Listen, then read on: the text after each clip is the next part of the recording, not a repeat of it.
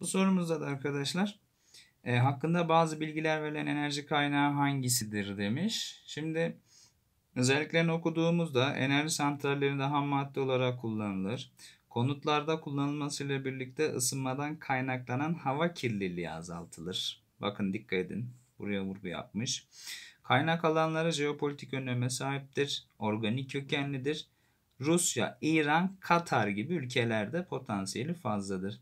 O zaman arkadaşlar direkt buradan doğalgaz olduğunu çıkartabiliriz. Doğru cevap Adana'dır.